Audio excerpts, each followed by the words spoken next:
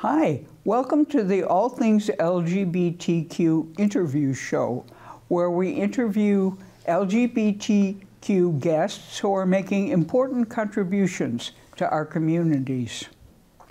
All Things LGBTQ is taped at Orca Media in Montpelier, Vermont, which we recognize as being unceded Indigenous land. Thanks for joining us and enjoy the show. It's time to dance. That's the lead in to Lost Nation's newest musical production, The Prom. And this is the narrative associated with the, the book. Down on their luck, Broadway stars shake up a small Indiana town as they rally behind a teen who just wants to go to the prom with her girlfriend. And Lost Nation says, and like hairspray back in 2016, our directors and designers' ingenuity will make this big show fit into the theater. So, joining me today are two people involved in the production. So, please welcome Kim and Josh. Welcome. Thank you. Thank you for having us. Okay, so Kim, I'm going to start with you only because th- this is not our first time doing an interview. And I'm a little familiar with some of your background, but could you talk a little bit about your involvement with Lost Nation and your involvement with this production specifically? Sure.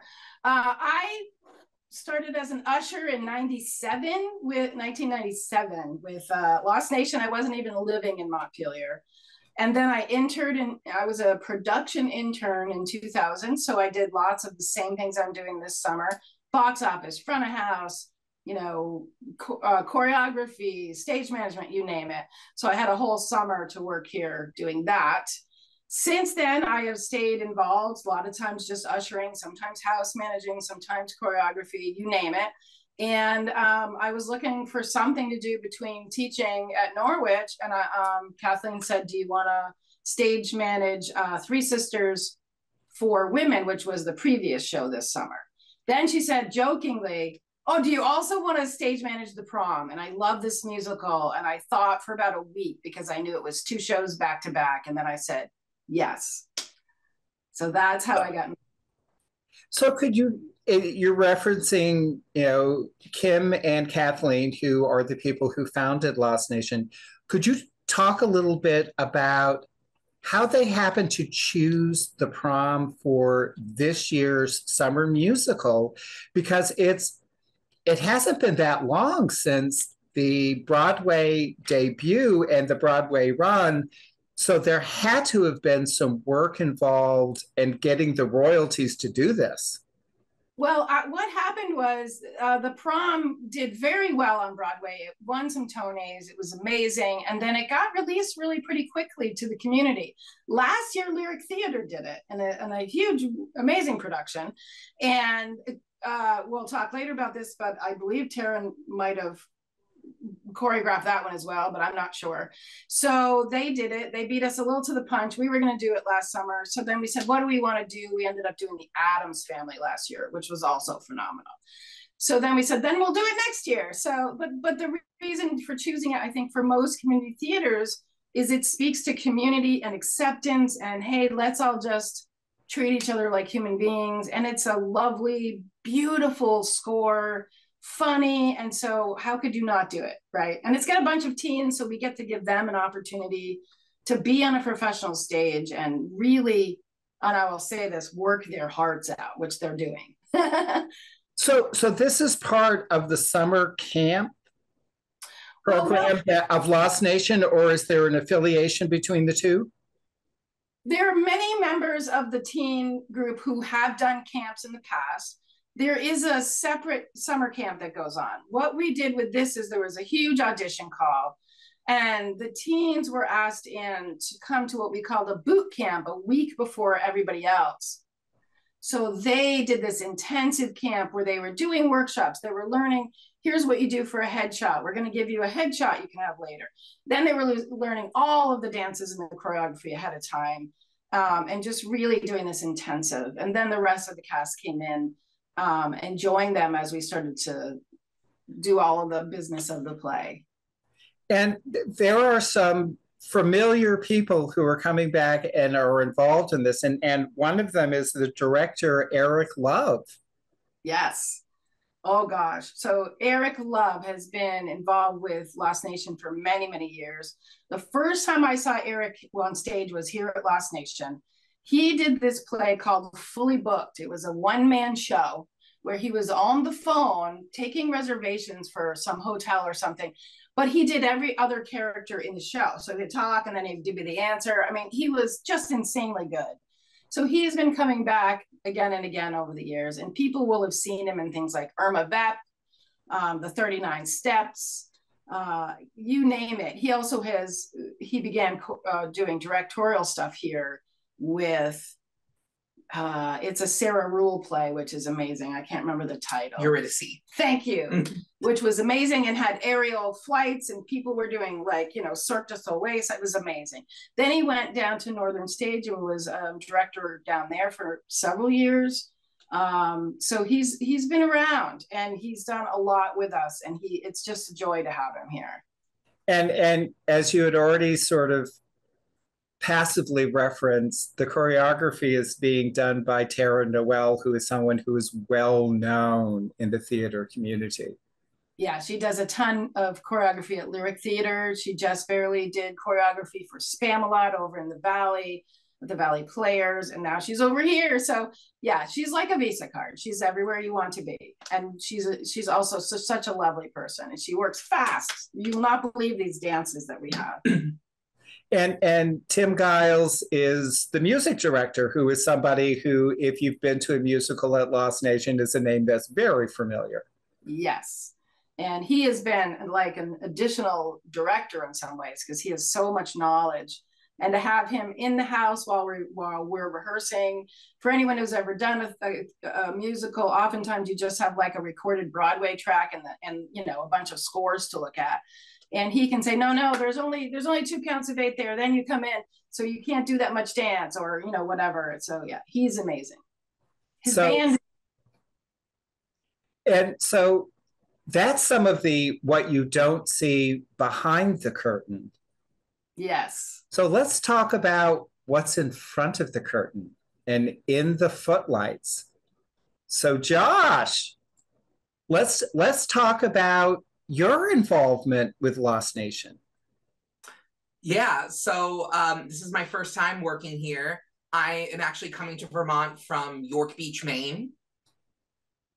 And uh, it was just one of those things. They posted that they were looking for the role of Barry. I submitted an audition, got a call back, uh, and then booked the show. And it all happened within uh, two and a half weeks of us starting rehearsal. So yeah, so I'm very excited to be out here. Uh, I've worked extensively throughout the uh, Maine, New Hampshire, Massachusetts seacoast area for the last 11 years. And uh, now I'm here to do the prom. I'm playing the role of Barry. He's one of the Broadway stars that hears about this young lesbian girl and decides to come to Indiana and shake things up. Okay, so I did the narrative that Lost Nation put out, sort of describing the production. As somebody who is whose character is part of this story, can you sort of flush out a little bit? If I come to see this, what what can I expect to see on the stage in front of me? Whew. Well, um, the first thing I think of is, in terms of theater, it's it's classic musical theater comedy. It's just joke after joke after joke. The show's a laugh riot, but then it also has these moments where it just emotionally punches you in the gut. Uh, so I love the balance of it for an audience that you're going to feel so much joy and you, you're also going to feel some sadness, but you leave feeling joyful at the end and it's just a full it's a full experience of emotions, great big dance numbers. Um, yeah, just it's it's a full package wise, I think. Okay, so if if I'm understanding what you're talking about, there, you know, it isn't just the smooth sailing event that there there's some conflict and there are things that are going to make me in my chair sort of tense up and and and then you're going to make me feel joy inside.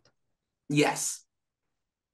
Okay. So was there anything that you needed to do to prepare for this role? Or could you talk a little bit about how you were as as an actor, how do you approach a role so that you are truly portraying what the character is supposed to represent? So, uh, for me, I actually make image boards on Pinterest. So, I gather images of um, different people I think the characters like, what I think their world is like, what I think their aesthetic and taste is like. So I can look through these images to help um, inhabit the character. And then usually when I'm picking a show, I like to pick certain traits and qualities of other actors or characters in shows to create like a combination. I, I like to say I call it a character cocktail. Um, so, so you create an environment for your character, and then you have your character live within it. Yes. So, like for this particular show, for the character I'm playing, Barry, he has the the sass and the stardom of a Nathan Lane, but his comedy timing is that of Jack from Will and Grace. But then he has that maternal instinct of like a Harvey Fire scene. Oh, I I can hardly wait. Okay, Kim, you're putting your hand up. Was there something you wanted to add? I'm just saying, I'm watching him in rehearsal, and as he says this, I'm like, yes, that is exactly what's in this character, and I love that uh, because if we hadn't done this interview, I might not have ever heard you say that, and it's a brilliant way to. Uh, now I'm like, okay, next time I do a show, I need a vision board and a character. So that's really neat to Okay, so, so, the hand going up was actually an exclamation mark to what Josh was saying. so Josh, what has this company been like? Because there are times that when you're part of a production, the interaction that happens between the actors is greater than the sum of its parts, which means you're more than just the character there, there's something that evolves among you. has that been your experience with this production? Um, do you mean in terms of like as a, a company of performers? Yes. Yeah. So it's been really powerful for me. I'm coming in as the completely new person. Everybody has sort of a knowledge of each other or a, a history with each other. I felt very welcomed from the moment I got here. And to be it's something i love about doing theater is you're coming with a a group of people that you don't always know but you have a common goal and how you just come together and you do it and i'm you know liz who's playing emma the lead girl our characters kind of instantly have a bond we understand each other and to be able to develop that bond with her through rehearsals and my other broadway divas in it and just take these character arcs and journeys with them has been really special. And and it must have been just a fun time playing a diva. Yes, it was so difficult to do. okay, so this is this production when it first opened on Broadway got a, a lot of traction because of its representation of the LGBTQ plus community, events that were happening, you know, on a, on a nationwide basis and locally, and sort of are representing ourselves. Are there a substantial number, or are there people from within the LGBTQ plus communities who are actively involved in this production? Absolutely. Yes. Yes. Several, many. Kim, Kim is going to go back to rehearsal today and do a head count saying, yo, this is the. Exactly. Okay, so with the time that we have left, Kim, I want to talk about, you know, the performance dates are July 18th Yes. through August Fourth. 4th. And it's Thursday through Saturday at 7:30 and on Sundays at 2 o'clock. Is that correct? That's correct. And you can reserve tickets by going online to the Lost Nation site. Yes. Is it a website, Facebook, both? We are both in both places. If you want to find information, um, the, our website's lostnationtheater.org, and you can just click on the poster and reserve tickets. Um, for people who have a, a, a, preference to call, you can just call the box office and, and leave a reservation that way. Okay, we'll we'll make sure all of that contact information gets posted. Now, but there's a sort of word of warning we need to give to people. You know, Lost Nation is in City Hall in Montpelier, and it's up several flights of stairs. And unfortunately, the elevator is still one of the casualties from last season's flooding. So if accessibility is an issue for you, you may want to get in touch with Lost Nation to see what might be possible, or if this is a production, you merely need to stand outside and, and wave at. Well, here's another thing is uh, what we have been doing is doing a live stream of the shows at least once. So there's the possibility of going to the site and buying the live stream ticket and watching from home. Okay. So well, th- that information should be up, if not now, then soon, where you can just go on your computer and watch it over Zoom. Um, and you know we've had a lot of support from um, Dominic Spillane of Theater Engine, who's really good at sort of coming in and re- you know really recording a great show for us that may or may not be there yet, but we do that. We've been doing that at least once for every show, and it's usually then uh, recorded and it's available to the run end of the run.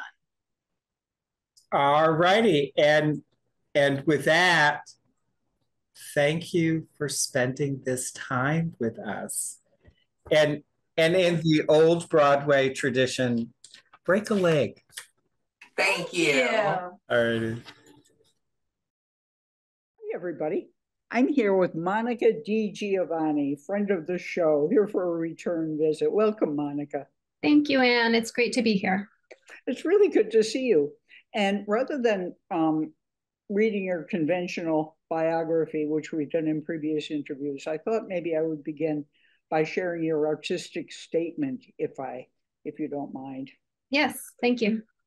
The current exploration of your work, I'm going to read it in the second person, investigates themes of birth, death, and rebirth, strength and vulnerability, impermanence and interconnectedness, nature, resiliency, chaos, Zen arts, the study of Buddhist cosmology, as it relates to uh, the human condition. Your spiritual practice as a yoga and meditation teacher and consciousness itself. That's a tall order. And we'll get a chance to look at some of that material as we continue to talk. With isolation being one of the greatest ills of our time, the remedy of interconnectedness and peace relies on each of us seeing our individuality as part of a whole that is so important. Yoga and meditation allow people to meet themselves in their most vulnerable moments and see outside of their struggles enough to find a connection. Your creative expression with oil paint, ink, watercolor, and other media, including expressive movement, is infused with your 30 plus year relationship with yoga and meditation. And you are an interdisciplinary artist. Thank you. Your art seeks to create deeper self understanding and compassion for individual viewers and a gentler connection through society. That's a lovely artistic statement. Thank you. I've been looking at your website, um, which is very impressive, and I encourage the audience to take a look at it. And um, discovered that your work is divided into three categories oil paintings, Enso Gallery, the Enso Gallery, and the Mindstream series. Do these divisions represent a progression or are they a simultaneous development? Um, I think they're a simultaneous development. Um, I, I moved to Vermont in 2002 and previously had been uh, mostly focused on performance art when I lived in Boston. And when I moved here, I switched my my form of expression because so much of my performance art expression was interconnected. It was about community, it was about collaborating with other people. And I didn't immediately, it took a long time to find that those those outlets. And so I was working more independently as a visual artist uh, in 2D media, and I started oil painting. But I'm also a sketchbook person, and I'm always doodling and drawing on the side. So I, I was working on this main body of oil paintings. And in the background, I'm using pencil and water based media and ink. Um, and so there really have been three different bodies of work evolving, well, or three different forms of expression evolving all at the same time. It's just mm-hmm. a put forward the oil painting for a good 15 plus years, and the rest of the stuff was kind of happening in the background. Well, you said the oil painting is inspired by many years of yoga and meditation, different forms of dance and movement, and a love of nature. You've developed a meticulous style. I'm reading from your artist statement about this. Okay. With deliberate multi layering technique that mirrors the effects of watercolors and takes full advantage of the complex transparencies of high oil paints. That's very impressive. Um, what I like, especially speaking of specific engagement, is going to emerge later in our talk, is that in support of pollinators and as part of your butterfly series, you include a resource list of organizations and other outlets that are doing the work of saving pollinators for everyone to use and share. So that's pretty cool. But let's take a look at an example of an oil painting if we could. Okay. Um, let's see. This is Nymphalis antiopa. Oh, how yeah. Cool. Yeah. So so this is the latest butterfly and um I worked this was a commission that I worked on last year and it took a long time to complete. Uh, the the painting is actually quite large. It's a good, I can't remember the dimensions right now, but it's at least two and a half feet wide and a couple feet high. Um, and I can't zoom, I don't think I can zoom in on it, but I can't in, in, in the display mode that I'm using, but it's highly detailed. There are hairs painted on the eyeballs because these particular, the mourning cloak butterfly has hairy eyeballs, and I wonder if that's where the statement came from. Um, these butterflies are furry, and you can kind of see it from this image, but the fur is painted on there with small brushes. And, and like you read in the statement, it's many layers of oil paint. How long did it take you to do it? This this particular butterfly took much longer than it normally would have because I had started it um, a bunch of years ago and then had a head injury. And so, partially how my creative process evolved from doing butterflies to doing the Enso paintings is that the head injury prohibited me from um, a, a certain degree of concentration. And my practice, my my art practice moved from the concentration practice and it also mirrored my meditation practice. So it moved from concentration practice more towards mindfulness practice. And the two are interlinked in terms of developing um, personal understanding and spiritual evolution. Um, and so I, I just switched gears to maintain a connection to my creative process as well as to my meditation practice. Well, speaking of the Enso paintings, let's look at an example from the Enso Gallery born out of Zen arts, and you can tell us this also, I'm sure, Enso or Zen circles are an opportunity to embody, embody the unseen. You use ink, iridescent pigment, and other materials to capture the ineffability of time in moment to moment experience. The brush, ink, and paper become a direct extension of body, mind, and the universe. Let's take a, take a look at a tradition. Here we are, a traditional Enso right before us. Can you tell us about it, Monica? Yeah, so this, I, I, have another example of a different Enso. This is a more traditional one. Um, it's not on rice paper, which is in Japan. They use rice paper. This is on ink on watercolor paper, and it's quite large. Uh, you know, one, one of the interesting things about the Ensos is that when you see them through digital media, you really can't tell how big they are. And mm-hmm. this one is, again, probably two feet by two feet in size. Um, and it was straight ink and a single stroke painting. Um, differently than the the oil paintings which have a construct to them. They have a map to them. They are draw i draw them out freehand based on photographs. And they're essentially line drawings filled in with color. And whereas with these Enso paintings, all of the preliminary work is internal, it's all mental practice, it's about um, meditation, and then bringing the whole self into the expression of the painting. Traditionally, like I, I call this a traditional Enso because it's just painted with the ink in a single brushstroke. And is it, is it traditional because it's black and white?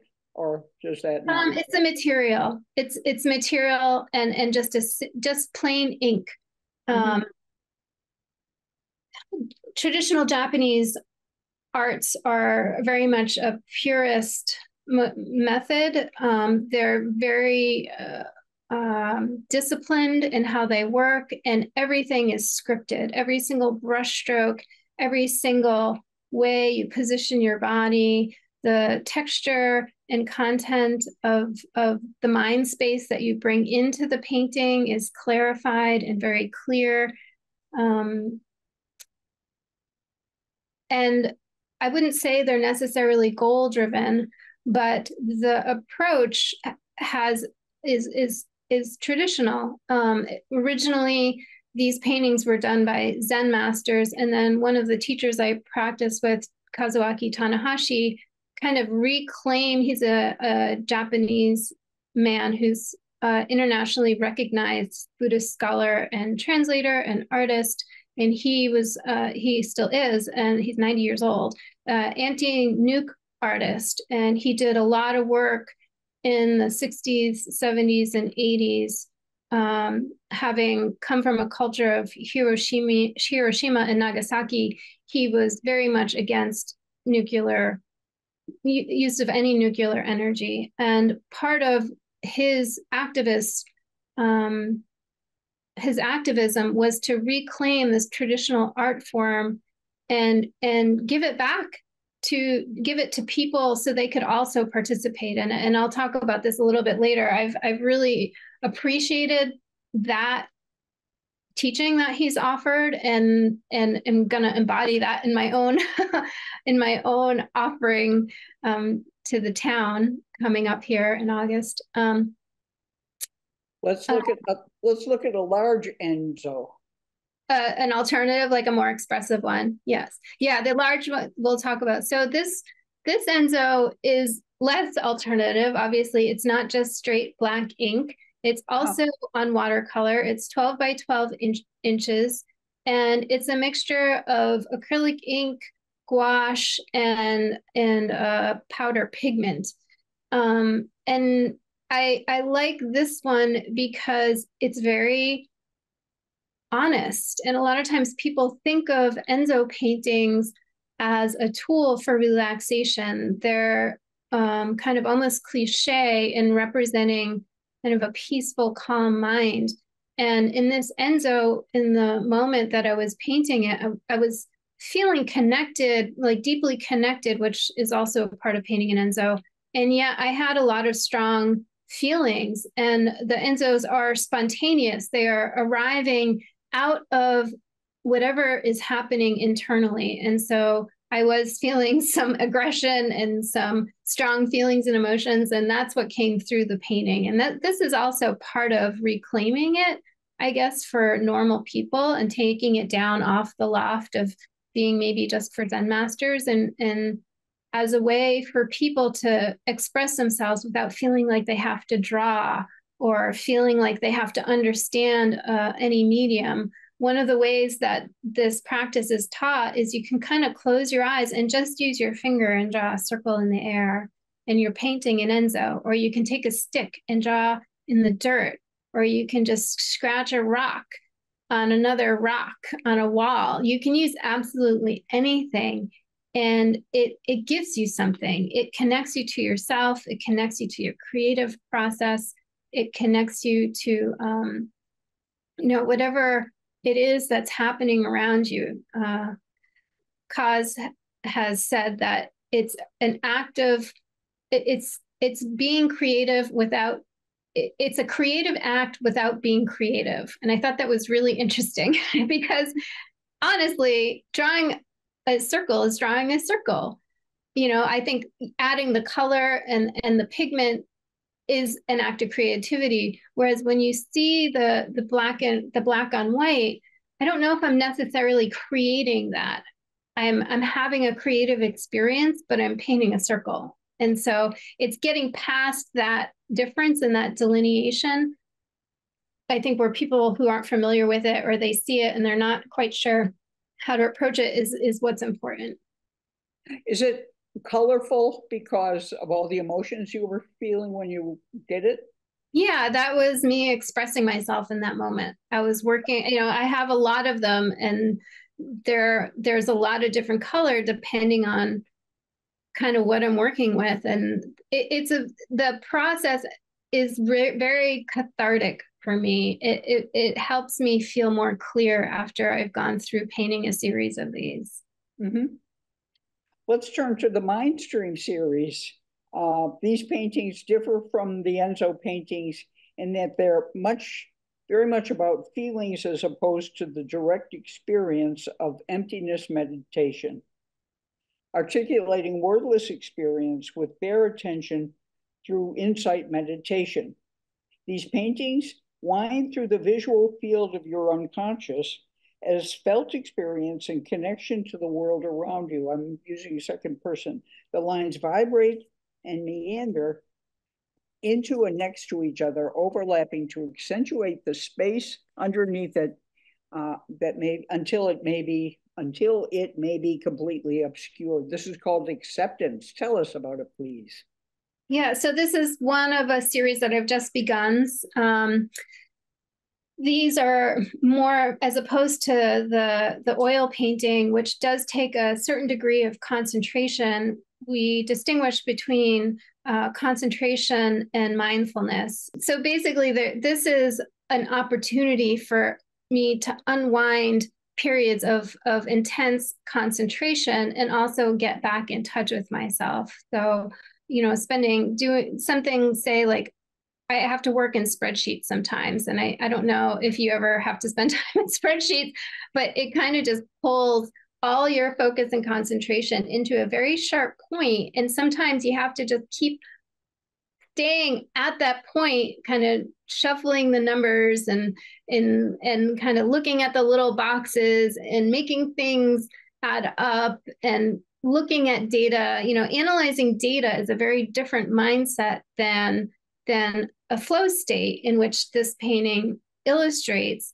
And so to help calm myself down and get out of that analytical mind i i do these paintings to help relax that tension. Because it, it for me I can do it, but it's it can create a lot of stress. so it's also these paintings also help me alleviate stress as as the the Enso paintings do. So there is some therapeutic element to doing this. Just say like meditation. Um, they it's taught in meditation is that if your meditation practice is stressing you out, then that is a point of understanding um, and a, maybe a point of departure to do things differently.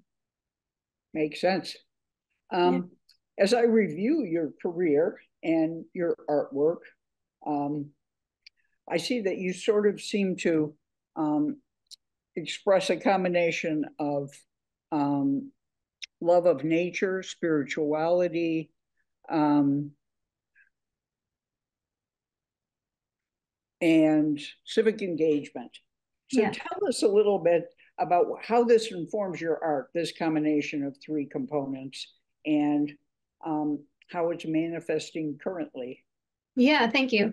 Um, so uh, the love of nature comes through in the butterfly series, um, and I love to set, tell people about that. Uh, I showed, I got to show those paintings to my Zen teacher, and I was kind of exploring different topics, and I had said to her, well, at some point, I think I would like to paint Buddhas. And she looked at the painting and she said, butterflies are Buddhas. and that kind of like a good teacher will do, it opened up my understanding of my approach to my creative expression. And it really, it was very freeing um, because it, it's one of the foundational teachings is that interconnection is that we're not separate um, I'm not separate from the computer or from my my notepad. I'm not separate from you.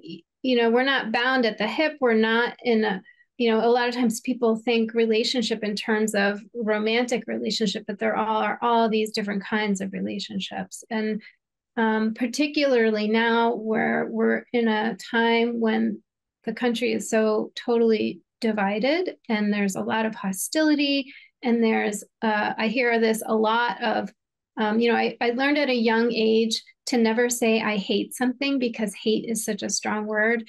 And i really take that to heart. I, have taken that to heart for my entire life well before i became you know i started pra- zen practice. Um, and maybe that's what led me to zen practice is i don't want to hate things. I don't want to walk through the world hating things. I can strongly dislike something and I can make a judgment about something being good or bad or right or wrong. But to hate something does something inside of me that I don't like at all. And I don't like what it puts out to the world. Um, and and so all of the the meditation and the yoga helps me understand myself better so that I can feel more present when I walk through the world. And I really want that to come through my art and and people really feel that. I don't know if they consciously know what they're feeling when they're when they're near my art but i i get that feedback from folks is that it makes them feel calm or they want to kind of get a little closer to it or dive into it. And i think there's some of that desire for interconnection to come through. And so in terms of civic engagement um, and and and wanting to be connected to people. Um, I've been involved in like local politics a little bit here through the Arts Commission, and um, I've last year we had uh, the big flood here in Montpelier that destroyed our city and. Um, just briefly, the town had four feet of water in it that emptied out almost every single storefront that had to throw away pretty much every single item that was connected and you know was was touched by the foul waters. Um, and it was really really hard on everybody. It was devastating. It was outrageously expensive. Um, and it took months and months to reclaim the town. And during that time while everyone was cleaning up it, everything was empty. It was murky. It was dusty.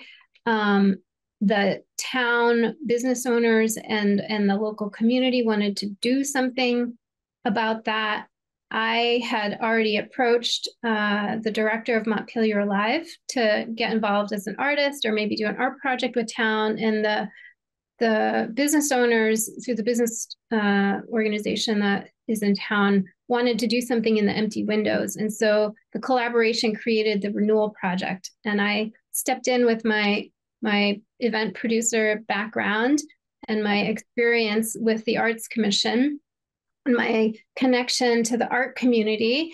And we collab- we created the Renewal Project. And so oh, in two weeks, I put a request for proposals out to as many news outlets as I could and spread through social media.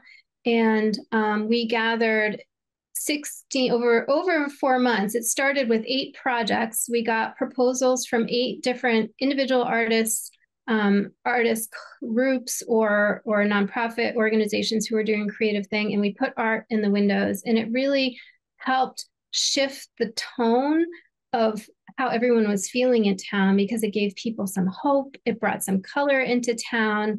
When people were visiting, it was we, there was signage on there, and so it kind of told the story of the flood, uh, of what was happening, because people who visited the town had no idea, and they they, I, yeah. Um, and so over the next three months, from the beginning of October to the beginning of January, we had a total of 16 different projects in the windows. And as the businesses came back, the projects either moved or they came down, but it created some movement where it just felt very stagnant and very sad. It was really heartbreaking. Um, we created a walking map of the art projects, and so people could come and see the map and walk around town and take a look at things. And um, it was great. the The project was in collaboration with Montpelier Alive, and it was sponsored um, by the Vermont Community Foundation and National Life. Um, and so, yeah. I remember it was really inspiring because it was a desolate landscape before you entered with the renewal project. So yeah, you're very welcome. yeah. Let's talk about the Montpelier Art Walk and your contribution to it. That's coming right up. Yeah. So, um, so first off, there's one event that's happening in a few days, and by the time people see this, um, they won't they'll have missed it. but um, it's the one year anniversary of the flood. And as we're talking, and our Montpelier was spared from the flood that happened a, to the day a year later, and our local outlying towns are again devastated, which is really, really sad.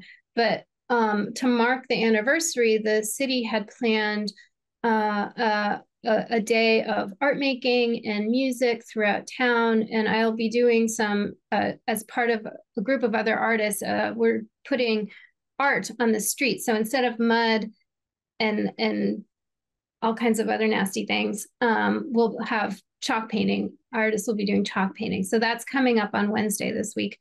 But then August 2nd, for the August 2nd Art Walk, and for anybody who doesn't know what Art Walk is, is the second um, on the first Friday every two months, the city of Montpelier has the art walk where all the local businesses and we have some local art galleries uh, open up and hang art on the wall. So I'm not quite sure how many venues are participating this time around. Um, but it was a lot. And again, it's been a year. We're slowly rebuilding. People are slowly getting back involved in, in all these community events and I'll be doing a, a community art project. So um, there'll be street performers, uh, the restaurants will be open, and then I'll show you some more photos.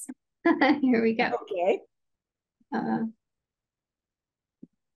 let's see. So, so here you see a giant brush um, that is a handmade brush and some very large paper. These, uh, this paper is 52 inches by 52 inches. This brush is about five feet, and the head of the brush, the bristles of the brush, are made up of old tights that I shredded and bound with hemp rope on a dowel. And again, the teacher that I've practiced with, Kaz, he wanted he did a, um, a large community enso project for an international organization, and they he had a large brush designed by an architect that eight people could carry at the same time. I made this large brush. It, this is, in itself is an art piece. Um, and, and then I painted these large paintings. While I was painting these paintings uh, a couple years ago, in the midst of painting these paintings, uh, Roe v. Wade was overturned. And so they've taken on a whole new meaning for me um, the practice has taken on a whole new meaning because the meditation and the approach, I was talking about how my current experience gets infused into the artwork. Mm-hmm. Um, that's what's infused into these paintings. They're called Tonglen, which is a Buddhist practice of giving and receiving, and where you take in the negative energy, uh, take in negative energy, transmutate it within yourself and then send it back out into the world with a well wish. Um, and so the we're go- I'm going to be doing this again um, with a group as a community art painting project on August 2nd. So you can kind of see the size of them there and then the brush in action. But on August 2nd, I'll bring out a big piece of paper and we'll do a peace meditation for the community. Uh, and then everybody will have an opportunity to add paint to the paper. And so anyone who wants to can add some color to the paper and then we'll swish it all around with a prayer or a, a good intention. And hopefully the painting will then be auctioned off or sold with the money donated to a local nonprofit organization. And then people will also I'll have a table set up prior to the meditation and painting this piece. I'll spend about an hour with a, uh, um, giving folks the opportunity to paint their own Enso. That's great. That's very collaborative and interconnected and inspiring. Oh, good. it's really in the spirit of Art Walk, which is so um, refreshing. Everybody, you know, the town percolates. You know, people are walking around, and you know, it's really a positive um, development here in Montpelier. And let me ask you: Do you think Montpelier is having a cultural renaissance, or have we are we just discovering all the talents around? Um, you know, the, this this state and this town and this community has so many artists. There is so much creativity in this town. There are so many artists, and over the last year, it's been really interesting because prior to the flood, there was an aliveness and a, a, a cultural reemergence that was happening in 2023 before the flood. And then the flood really knocked people. They really, really knocked people. But what happens when empowered, creative people get knocked down? They come back with even more power. And what I've been seeing this year is a renewed sense of energy to bring creativity into the communities and make it accessible for everybody. Um, the Vermont Arts Council is really an amazing organization. They've done all this research and study. They their website is full of all these different databases. They have grants, pretty large, good-sized grants for people doing all kinds of different creative work in the state.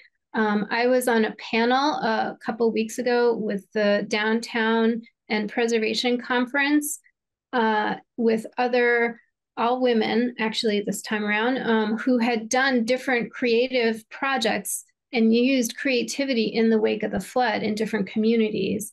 And uh, about a month ago, I was participating at a small arts festival in Worcester, Vermont, which is about 10 minutes, 10, 12 minutes out of Montpelier.